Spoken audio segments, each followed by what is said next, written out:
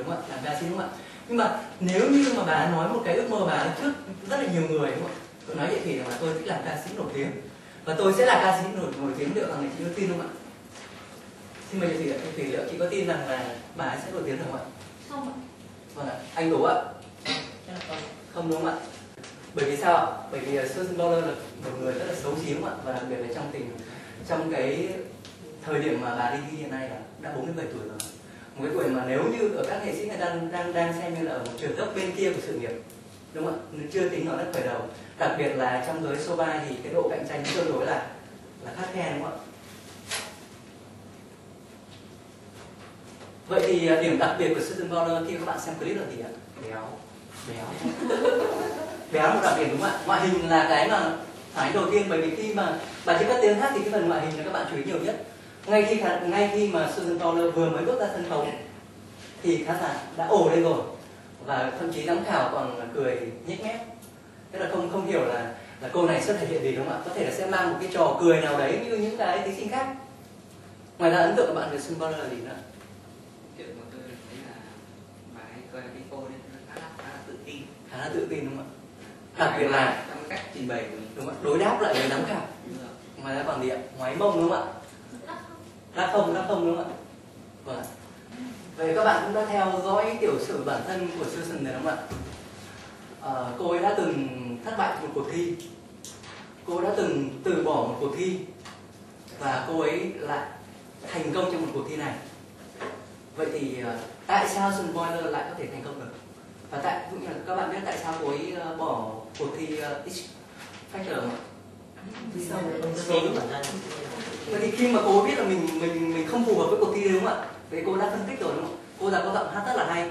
Nhưng mà tiêu chí cuộc thi không cho phép cô tham gia bởi vì cô biết rằng cô tham gia cô sẽ thất bại. Vậy thì cô biết là chất vọng của mình tốt không? Có khả năng biết về năng lực của mình, biết đam mê và biết sở thích của mình rồi. Nhưng mà cô ấy phải chọn được thời điểm. Thời điểm đầu tiên là cô ấy năm 95 cô đã bị thất bại bởi vì là không tự tin trình diễn không được tốt. Thời điểm thứ hai là năm năm 2006 đúng không ạ? Đã quyết định từ bỏ cuộc thi X Factor và đến cuộc thi này thì cô ấy quyết định cô tham gia. Đây là đây cũng là một cuộc thi tìm kiếm tài năng. Nó là một show giống như American Idol. Nhưng mà nó không giới hạn đối tượng. Có thể là một nhóm một người hoặc là một gia đình. Và nó cũng không phân biệt độ tuổi. Có thể là anh 2 tuổi 3 tuổi thậm chí là già hơn. Và nó nó hoàn toàn là không tính đến yếu tố uh, về về ngoại. Hình à cuộc thi này nó có thể dành cho mình và nếu như mình tham gia và mình chứng minh được khả năng ca hát của mình thì mình có thể thành công. Đấy. vậy thì uh, các bạn biết hiện nay cái lượng truy cập xem clip này ở trên mạng youtube là bao nhiêu rồi ạ? 10 triệu bao nhiêu ạ? Anh tú 17 triệu ạ. À, xin mời uh, văn đinh ạ. Về con số chính xác thì mình không mình không mình không nhớ đâu nhưng mà mình biết là nó số lượng truy cập rất là nhiều. Bạn minh biết số lượng bao nhiêu ạ? Dạ chị thủy ạ. Chị biết được khoảng 6 triệu rồi ạ con số mà tôi ờ, công bố bây giờ thì có thể là các bạn sẽ rất là ngạc nhiên và không nghĩ không nghĩ đến. Hiện nay lượng truy cập uh, clip của Susan đã là hơn 200 triệu và đã đánh bật được cái clip mà đang có số view nhiều nhất trở thành là số 1 hiện nay. Thì sau chỉ sau có 3 tuần thôi ạ. Vậy chúng ta có thể xem bán thành công chưa ạ? Thành công chưa ạ? Sau cuộc thi này thì các bạn có biết gì thông tin gì thêm về Susan Bowler không ạ? Có từ một người vô danh trở thành một người nổi tiếng đúng không ạ? Được các show truyền hình nổi tiếng từ uh, Today TV rồi là uh, các show uh, CNN, CNA đều là phỏng vấn đều muốn được phỏng vấn. Và còn một thông tin rất thú vị nữa là một uh, một một một uh, hãng phim về sách. Cũng đúng ạ? Cũng muốn mời bà ta để cộng tác một bộ phim mặc dù là ngoại hình rất là xấu xí ạ. Vậy thì bây giờ bà ta đã có danh tiếng có thể kiếm được tiền. Đúng không ạ và một là một người rất là nổi tiếng. Vậy chúng tôi xin hỏi lại rằng là để có được một sự nổi tiếng ngày hôm nay đầu tiên bà Boiler bà xác định được cho mình cái gì trước ạ. Bạn rất hiểu rõ bản thân. Rất hiểu rõ bản thân đúng không ạ? Anh có thể ghi lại giúp em các thông tin không không phải um, rất hiểu rõ bản thân ạ. Anh đối cho là bà rất hiểu rõ bản thân. Ngoài ra còn gì bạn xin mời bạn biết được cơ hội. Biết được cơ hội. Biết được cơ hội của mình. Và đánh giá được cơ hội đúng không ạ? Bạn Phương ạ tự tin à, bạn Diệu Anh ạ.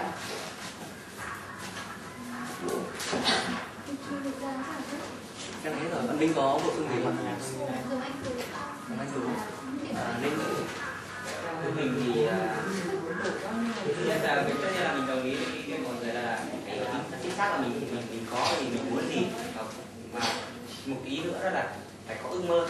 Mỗi người sinh sống phải có ước mơ mình mình sẽ thành người như Có nào. Ước mơ. mình sẽ làm cái gì nước nó hơi cao cả một chút nhưng mà nói chung là đại đại đại loại phải có ước mơ thì nó có nó sẽ có ý nghĩa hơn Vâng ạ. Như vậy là các bạn uh, cho rằng là để có được sự thành công thì đầu tiên mình phải hiểu được bản thân mình đúng không ạ?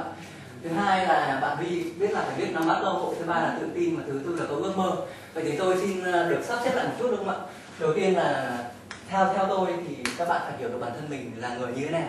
Mình đam mê cái gì, mình có năng lực sở trường về vấn đề gì thì là cái điều đầu tiên. Thứ hai khi mình đã được uh, hiểu được hiểu được bản thân mình rồi, mình phải luôn trau dồi đúng không ạ? bà bà bà luôn là bà luôn luôn hát ở trong nhà thờ. Và hát ở bất kỳ cứ khi nào ở bất cứ nơi nào. Như vậy là bà có sự trau dồi. Và trước cuộc thi này thì bà cũng có nhờ một người hướng dẫn cho bà về về về về về giọng như vậy là luôn luôn được trau dồi và luôn luôn được được tôi luyện. Đấy. được trau dồi. Thứ ba là bà phải tự tin phải tự tin tự tin vào bản thân mình tự tin vào những gì mình có tự tin vào sở trường và cái năng lực của mình. Thứ tư là phải luôn luôn có ước mơ và duy trì được ước mơ đấy. Đúng không ạ? Phải duy trì được ước mơ đấy. Ước mơ có thể là hôm nay là tôi ước mơ là người ờ, ca sĩ ngày mai tôi lại là tôi ước mơ lại là diễn viên cơ nhưng mà bà bà Susan này không bà chỉ mơ ước là tôi trở thành là một người ca sĩ nổi tiếng thôi. Và bà đặt mục tiêu là bà phải giống như cái cô cái cô cô cái cô Pet hay cô gì đấy đúng không ạ? Đấy và thứ năm là phải biết nắm bắt cơ hội. Như vậy rằng là để có được thành công thì các bạn phải đầu tiên là gì ạ? Các bạn thể nói rõ hơn ạ? Hiểu rõ bản thân đúng không ạ? Thứ hai là gì ạ? Trao dồi. Cháu rồi ạ. Thứ ba là gì ạ? Tự tin. Tự tin ạ. Và thứ thứ tư là gì ạ? Có mơ duy trì ước mơ. Và thứ năm là Biết thôi. Đúng rồi nắm bắt cơ hội. Nắm bắt cơ hội này là có dễ dàng Không ạ. Có mấy loại cơ hội ạ? Các bạn có mấy loại? Biết là có mấy loại cơ hội ạ? Cơ hội do mình tạo ra. Không biết ạ. Không biết. Diệu Anh ạ mời bạn Diệu Anh ạ. Cơ hội do mình tạo ra là cơ hội. trên trời rơi xuống. Chính xác ạ. Cơ hội do mình tạo ra và cơ hội trên trời rơi xuống. trong trường hợp Susan Butler này là gì ạ? Trên trời rơi Cơ xuống. hội thì ờ, cả hai đấy. Cái sự kết hợp cả hai đấy. cái là cả hai đúng không ạ? Nếu như mà các nhà tổ nhà sản xuất không tổ chức chương trình này thì liệu bà không có nổi tiếng được không ạ? Không đúng không ạ? Nhưng mà nếu như bà không chuẩn bị và không tập luyện để tham gia chương trình này thì rõ ràng là cũng sẽ Không không nắm bắt được. vậy thì chúng tôi xin khẳng định các bạn là đầu tiên phải hiểu rõ bản thân nhưng mà thứ hai cái vấn đề nắm bắt cơ hội các bạn cũng phải ờ, tự trao dồi cho mình để có thể mình tự tạo ra cơ hội và nếu như mà có có một cơ hội từ trên trời rơi xuống chẳng hạn thì các bạn cũng cố gắng nắm bắt lấy để tạo thành công cho mình và bây giờ chúng tôi xin ờ, chuyển lại cái phần tiếp theo cho anh ờ, anh Thành ạ như vậy có thể nói là cái câu chuyện về Susan Boiler là câu chuyện thành công nhờ có đam mê tự tin và cái thở ước mơ của mình. Thì các anh chị có thể chia sẻ trong cuộc sống không? Các anh chị đã từng gặp ở đâu đấy? Người có thành công tương tự như chị và có một trường hợp em nhớ đấy là anh Thanh. Anh là một người ờ, đầu tiên thì là anh cũng là người bình thường chúng ta anh xảy một tai nạn. Thì ờ, đấy thì chân anh ấy đi lại rất là rất là khó. Và sau đấy thì anh tham gia câu lạc bộ uh, của những người khuyết tật sau đấy thì anh ấy là thành lập hẳn một công ty, rồi thành lập hẳn một cái câu lạc bộ dành cho người khuyết- tật. Rất là là đây cái ví dụ đấy nó cũng rất là sinh động và nó cũng nhìn với cuộc sống xung quanh của chúng ta. Và cũng có thể anh chị bây giờ có thể tự hình dung xem điều mạnh của mình là gì và ước mơ của mình là gì. Chúng ta có thể bắt đầu theo đuổi ước mơ của mình và chuẩn bị sẵn sàng để nắm bắt những cơ hội trong cuộc sống. Và đấy cũng chính là cái thông điệp mà chúng tôi muốn gửi đến các anh chị trong cái bài học ngày hôm nay cuối cùng là chúng tôi ờ, xin ờ, trao đổi với các bạn một cái thông điệp mà chúng tôi muốn mang đến là trong cuộc sống, chúng ta có rất nhiều cơ hội. Điều cơ bản là chúng ta biết cơ hội đấy ở đâu, nó có phù hợp với mình hay không, để chúng ta nắm bắt lấy nó. Ai cũng có một điểm mạnh cả, đúng không ạ? Không ai là không có ngay như Susan Boiler người xấu xí và vi tập bẩm sinh về não vẫn có thể phát hiện ra được năng lực và đam mê của mình. Vậy còn dần dần nếu mà chúng ta hãy tự khám phá bản thân, tìm ra được năng lực của mình và biết ước mơ, biết theo đuổi đam mê để bắt, nắm bắt được cơ hội. Và tôi tin chắc rằng là những người ngồi đang ngồi đây sẽ có cơ hội thành công đấy ạ chúng tôi hy vọng rằng là khi các bạn thành công sẽ nhớ đến à, những người chúng tôi ngày hôm nay. Em đang đến bài học này